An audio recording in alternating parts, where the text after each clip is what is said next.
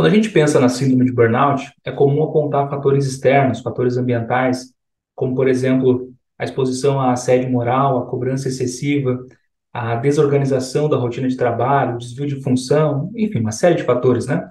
Como os principais fatores de risco. E, de fato, o ambiente externo representa grande parte do, do fator de risco, e esses fatores que eu mencionei, todos estão diretamente associados mesmo ao risco da síndrome de burnout.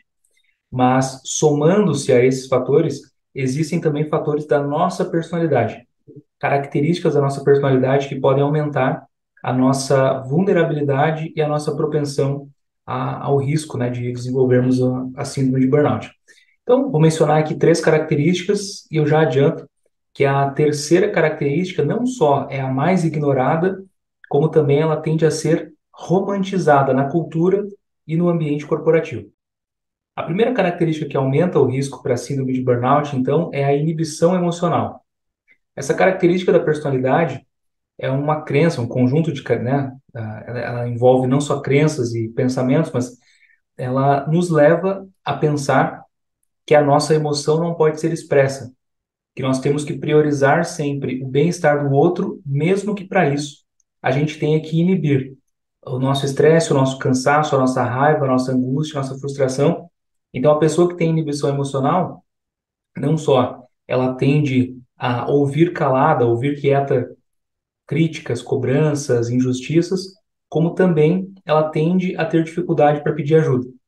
A pessoa que desenvolve, então, o esquema de inibição emocional, as características de inibição emocional na personalidade, ela acaba, infelizmente, tendo um risco aumentado para desenvolver a síndrome de burnout. A segunda característica, diretamente ligada com burnout também, é o que é chamado na terapia do esquema de padrões inflexíveis. Os padrões inflexíveis são um conjunto de características que aumentam a cobrança que a pessoa tem em relação a ela própria. Então, ela acredita que ela só vai estar satisfeita, segura e organizada quando ela atingir o máximo da perfeição. E ela acaba usando esse mesmo grau, esse mesmo parâmetro de cobrança para o seu desempenho no trabalho. Logo, se você desenvolve um perfeccionismo exacerbado, uma crítica com relação ao seu próprio trabalho, sempre um olhar autodepreciativo, um olhar muito rígido, muito intolerante às, às próprias falhas e vulnerabilidades. E acredita que você sempre pode melhorar, sempre precisa melhorar, sempre precisa dar o melhor de si, dependendo da área que você trabalha, se for uma área com múltiplas tarefas, né, com uma carreira que realmente te expõe assim a uma grande competitividade, você inevitavelmente pode ficar propenso a desenvolver também a, a síndrome de burnout.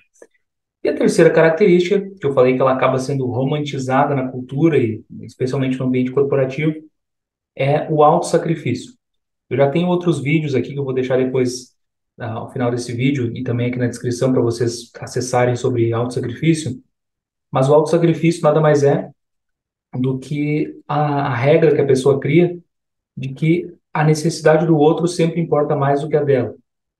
Que ela precisa obrigatoriamente ajudar o outro primeiro para depois olhar para si. Cuidar do outro para depois cuidar de si.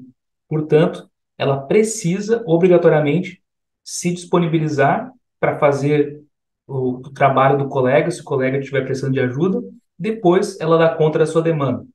Ela gasta mais tempo e energia procurando pessoas vulneráveis à sua volta para que ela possa ajudar, ser útil, né, se mostrar solícita, e depois ela faz tudo sozinha, né, do que diz respeito à, à sua demanda e à sua competência, porque ela também não consegue pedir ajuda. Se a pessoa, além do autossacrifício, tiver também a inibição emocional ou padrões flexíveis, ou eventualmente as três características, é óbvio que o risco para o burnout é ainda maior. Mas é importante a gente pensar que o autossacrifício, como regra, ele leva a pessoa a sempre cuidar do outro primeiro e depois de si. Sempre doar-se para ajudar o outro, para né, facilitar a vida, a rotina, a execução das tarefas de trabalho do outro e depois ela olha para si. Já expliquei quais as consequências disso em outro vídeo, inclusive, por exemplo, a propensão a pessoa cobrar depois de outras pessoas, perder o controle, ficar frustrada e tudo, mas, inevitavelmente, a síndrome de burnout, o esgotamento emocional, a sobrecarga no trabalho também é uma consequência bastante provável nesses casos. Espero que vocês tenham gostado do vídeo e, caso tenham qualquer dúvida, aguardo as interações de vocês aqui nos comentários. Muito obrigado pela atenção e até o próximo vídeo.